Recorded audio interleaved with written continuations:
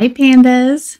They were reading a story called The Old Man and the Penguin, written by Julie Abery and illustrated by Pierre Pratt. On his walk along the beach, Joao hears a sorry screech. Spies a penguin on the shore who blinks an eye, but nothing more. His feathers soaked in oily goo that's black and sticky, just like glue. Too tired to swim, too weak to stand, he's barely moving on the sand.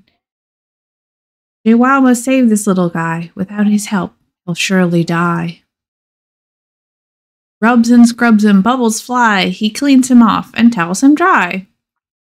A bowl of fish for every snack. The penguin's strength is coming back. Take a boat ride out to sea to find the place he's meant to be. Joao must leave him there to find other birds of his own kind. He's strong enough to swim away, but decides he'd rather stay. Fishy kisses beak to nose. Day by day, their friendship grows. Joao gives him a name, Din Dim. They snuggle close. They play and swim. He loves the penguin like a child. Deep inside, he knows he's wild. I like they're watching penguins on TV. Seasons change, new feathers grow. Din Dim knows it's time to go. An instinct draws him out to sea, a splash, a dive. He's swimming free. Four months pass, he's back on shore and waddles to his old friend's door. Then Joao comes into sight, Din Dim's honking with delight. Wagging tail, dancing feet, waiting for a sardine treat.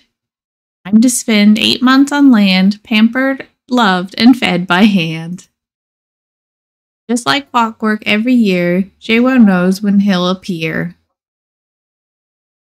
Pecks and strokes for happy friends, a precious bond that never ends. At the, the end of the book, this is the true story of the friendship between the man and the penguin and how oil is toxic to the sea environment like penguins.